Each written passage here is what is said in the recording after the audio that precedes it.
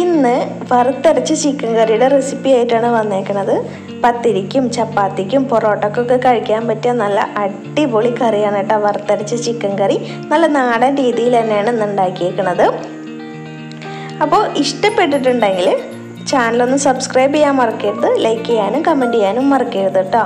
അപ്പം നമുക്ക് വേഗം റെസിപ്പിയിലേക്ക് പോവാം. ആദ്യം തന്നെ കറിയിലേക്ക് വേണ്ട നാളികേരം വറുക്കുകയാണ് ചെയ്യണത്. ഇതൊരു ചെറിയ നാളികേരം ഒരു മുറി നാളികേരമാണ് എടുത്തേക്കണത്. പിന്നെ അതിലേക്ക് കുറച്ച് ഉള്ളി ഇട്ട് കൊടുത്തിട്ടുണ്ട്. അതുപോലെ തന്നെ കുറച്ച് കറിവേപ്പിലയും കൂടെ ഇട്ട് കൊടുക്കുന്നുണ്ട്. അപ്പോൾ ഈ ഉള്ളിയും കറിവേപ്പിലയും കൂടെ ഇതിന്റെ കൂടെ ചേരുമ്പോൾ നല്ല ടേസ്റ്റ് കുറച്ചുകൂടെ ടേസ്റ്റ് കൂടും. അതിന് വേണ്ടിയിട്ടാണ് ഉള്ളി ഇട്ട് കൊടുക്കുന്നത് കേട്ടോ. ഒന്ന് റോസ്റ്റ് ആയതിന് ശേഷം വെളിച്ചെണ്ണ ഒഴിച്ചു കൊടുക്കുകയാണ്. വെളിച്ചത വെളിച്ചെണ്ണ തന്നെ ഒഴിച്ചു കൊടുക്കണം കേട്ടോ. എന്ന് വെച്ചാൽ ഇത് നാടൻ കറിയാണ്. അപ്പം ഇതിന് വെളിച്ചെണ്ണ തന്നെയാണ് ഇതിന് വേണ്ടത്. അങ്ങനെ നമ്മുടെ നാളികേരൊക്കെ മുരിഞ്ഞ് വന്നിട്ടുണ്ട്.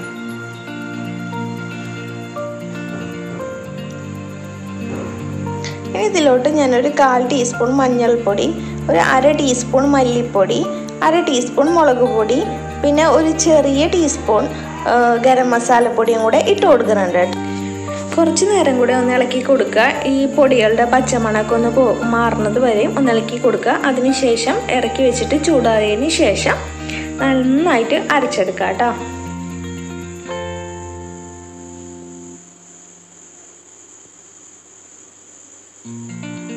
അങ്ങനെ നാളികേരൊക്കെ വറുത്ത് കഴിഞ്ഞിട്ടുണ്ട്. ഇനി ചിക്കനിലേക്ക് മസാല ഉണ്ടാക്കണം. അതിന് ശേഷമാണ് നമ്മൾ നാളികേരം വറുത്ത് അരച്ചത് ചേർത്ത് കൊടുക്കണം കേട്ടോ. അപ്പോൾ അതിന് വേണ്ടിയിട്ട് ഒരു സവാള എടുത്തിട്ടുണ്ട്. അതിൽ കുറച്ച് ഉപ്പിട്ടിട്ട് പിന്നെ വെളിച്ചെണ്ണയാണ് ഒഴിച്ചു കൊടുത്തേക്കണത്. നമ്മൾ നാടൻ കറിയാണല്ലോ ഉണ്ടാക്കുന്നത് അപ്പോൾ അതിനെപ്പോഴും വെളിച്ചെണ്ണ തന്നെ ഉപയോഗിക്കണതാണ് ഏറ്റവും നല്ലത് കേട്ടോ. ഈ സവാള ഒന്ന് വാട്ടിയെടുക്കാം. ഇപ്പോൾ ഇതേ നമ്മുടെ സവാളൊക്കെ നന്നായിട്ട് വാടി വന്നിട്ടുണ്ട്. അതിലേക്ക് ഇഞ്ചിയും വെളുത്തുള്ളിയും പച്ചമുളകും കൂടെ ചതച്ച് വെച്ചതാണ് അത് ഇട്ട് കൊടുക്കുകയാണ് കേട്ടോ. അപ്പോൾ ഇതും ഒന്ന് വാടി വരട്ടെ.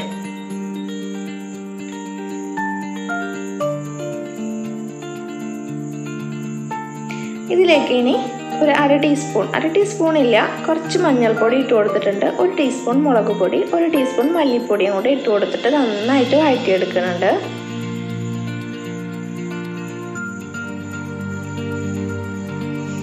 അതിനുശേഷം നമ്മൾ തക്കാളി ഇട്ട് കൊടുക്കുകയാണ്. ഒരു തക്കാളിയാണ് കേട്ടോ.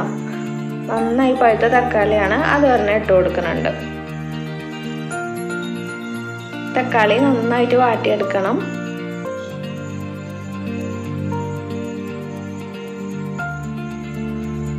അങ്ങനെ ഇതേ തക്കാളിയും വാടി വന്നിട്ടുണ്ട്. ഇനി ഇതിലേക്ക് കുറച്ച് വെള്ളം ഒഴിച്ചു കൊടുക്കുകയാണ്. കുറച്ച് ഒഴിക്കണുള്ളൂ കേട്ടോ ചിക്കൻ വെന്ത് കഴിഞ്ഞിട്ടുണ്ടെങ്കിൽ അതിൽ നിന്ന് വെള്ളം ഇറങ്ങുമല്ലോ. അപ്പോൾ അതുകൊണ്ട് ഇതിലേക്ക് കുറച്ച് വെള്ളം ഒഴിച്ചിട്ടുണ്ട്. ആ വെള്ളം ഒന്ന് തിളച്ച് വരുമ്പോൾ ചിക്കൻ ഇട്ട് കൊടുക്കുകയാണ്. മുക്കാൽ കിലോത്തോളം ചിക്കൻ ഉണ്ട്. ആ ചിക്കന് നന്നായിട്ട് മസാല ഇട്ടിട്ട് നന്നായിട്ട് മിക്സ് ചെയ്ത് കൊടുക്കുക. എന്നിട്ട് അടച്ച് വെച്ചിട്ട് വേവിച്ചെടുക്കാം. അപ്പോൾ വേവിക്കണതിൽ മുന്നായിട്ട് കുറച്ച് കറിവേപ്പില വേപ്പിലയും കൂടെ ഇട്ട് കൊടുക്കുന്നുണ്ട്. അങ്ങനെ ദേ നമ്മുടെ ചിക്കനൊക്കെ നന്നായിട്ട് വെന്ത് വന്നിട്ടുണ്ട്. ഭയങ്കരമായിട്ട് വെന്ത് ഉടഞ്ഞിട്ടില്ല അത് ഇനി നാളികേരം കൂടെ ഒഴിക്കാനുണ്ടല്ലോ. അപ്പോൾ അതുകൊണ്ട് തന്നെ ഒരു മുക്കാൽ ഭാഗത്തിൽ കൂടുതലായിട്ട് വേവിച്ചെടുത്തിട്ടുണ്ട്. നല്ലപോലെ വെള്ളമൊക്കെ ആയിട്ടുണ്ട് കേട്ടോ അപ്പോൾ ഇനി നമ്മൾ അരച്ച് വെച്ച നാളികേരം വറുത്ത നാളികേരം ഉണ്ടല്ലോ അത് ചേർത്ത് കൊടുക്കുകയാണ്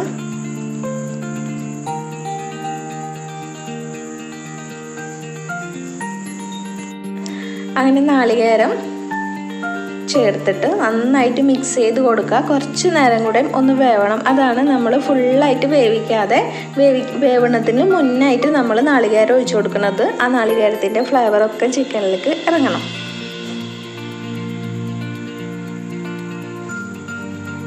അങ്ങനെ ദേ കറിയൊക്കെ ആയിട്ടുണ്ട് കേട്ടോ കറി കുറച്ച് നേരം നല്ലപോലെ തിളച്ച് ചിക്കന്റെ ഫ്ലേവറൊക്കെ ശരിക്കും ഇറങ്ങിയിട്ടുണ്ട്.